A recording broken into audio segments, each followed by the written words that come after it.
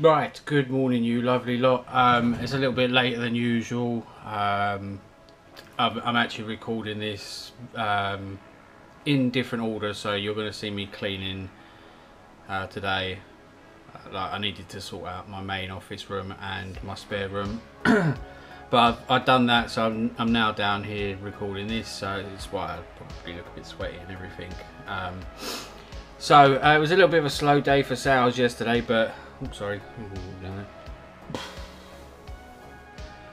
it wouldn't be a damn video without a burp. Um, yeah, sorry. So uh, yeah, it was a pretty pretty slow day yesterday. Um, I had one vintage out actually, which uh, let's. Um, but it came through not long before I had to go and pick my little one up, so I just decided to send it yesterday. Uh, it would have gone today normally. Um, no, it's gone. Do you know the thing that really annoys me with Vinted is it like unlike eBay and Depop, it doesn't give you a like a sold section, or if it does, I don't know where it is. So if it does, if anyone wants to um, actually tell me, then uh, that'd be great. But um, okay, so I'll flip you around and I'll show you what sold um, yesterday and overnight and stuff. So. Uh, this was the Vinted one. Um, I picked these up from Boot Sale a few weeks ago. Um, been waiting ages to clean them. But uh, yeah, sold for, I had them up for twenty nine ninety nine, I think it was, and they made me an offer 25 uh, so you have to ignore this because that's basically what they've paid. But uh, yeah, so £25. Um, what's this? Uh, why is it showing me it like that? Strange. Uh, sold this uh, Man United football shirt. It's just a kids one. Sold fourteen ninety nine with uh, three ninety nine postage. Uh, it's nothing amazing. Um, kids football shirts do sell. They don't sell for as well as um, adult ones, but I was picking these up for a pound a shirt, and they've been going out steadily for like fifteen pound, between sort of like ten and fifteen pound, depends on what platform they go on. Usually, I let them go for a tenner if they go on uh, Vinted, because obviously the fees are not there and stuff. Um, and then some point in the night, uh, just goes to show we're getting on to Q4. A nice vintage Christmas tree sold. Uh, picked this up for a boot sale a few weeks ago. Paid a couple of quid for it. Um, it will be down in my uh, SKU somewhere, but I don't know where you find the SKU on the on the main site. Um, so I don't really. I mean, I post. I, I do all my um, listings and stuff on the main site, but I, I, do most of it off of my phone. I just. Um, I think the pictures and stuff come out nicer when you do it on the desktop. But uh, yeah, so that's sold for twenty four ninety nine plus uh, six pound postage, um, and yeah, I think it owed me a couple of quid. But yeah, they're, they're the only the only orders that are going out. Those two. Uh, so yeah, they're already over there. Um, I need to I keep forgetting. I need to buy, like, remember to get some um, like shrink wrap stuff because the uh, I think one of the main things that helped. Well, I don't know if it helped sell um, the tree, but the box was just pretty much immaculate, and I didn't want to tape the box up because um, it'll ruin it'll ruin the box. Um, and I didn't have a box big enough to fit it in and I couldn't be bothered to make a Franken box so I went a bit uh, chavvy and got two black bags and put it in black bags and then taped it up. Uh, usually I've got shrink wrap to do that but if I have got any I don't know where it is because obviously I don't use the shrink wrap very much so I might have to order some.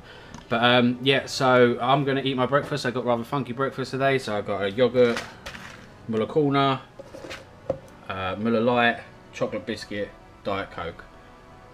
Well balanced breakfast purely because I can't be bothered to make anything. Um, so I'm gonna eat through this, do the labels. Uh, I've got a list tons today. I don't think there's anything else I'm going to be doing today, so obviously I'll put in the cleaning footage and stuff. Right, let's get this mess all sorted out. So I've got everything all pulled out at the moment. What I want to do is I want to make this corner more accessible because with everything there it's a nightmare to get to um, so not quite sure what I'm going to do there yet. Um, I need to sort this table out. I think I might what I might do is I might put my spare tables might either take them upstairs or put them outside or something. Um, and I, I mean, I could take my stock boxes upstairs, but um, I kind of like them being down here. So yeah, um, I'll get back to you once I've come up with some kind of plan. Right, there we go. I think that looks much better. Still chaos, but tidy chaos. I can get to that corner now, which is nice. I got rid of that table that was there. It just was unnecessary. So I went and dug out another tote box that was in the garden. So I've got all my stuff in tote boxes now. Um, coded them all. So on my SKUs, I'll start doing that. I've already started doing some of them down there. Um, yeah, then I got my cleaning stuff. That's quite funny. Yesterday I went and picked up a pressure washer because my one broken, second hand one, and then I won that on eBay. Um, brand spanking new. I won it for forty three pound, and when I checked out the person's feedback, they had loads of bad feedback saying, "Oh, scammer, scammer, scammer, scammer." So I was like, "Oh, I don't really want to pay until like they give me their address because they said they were local to me."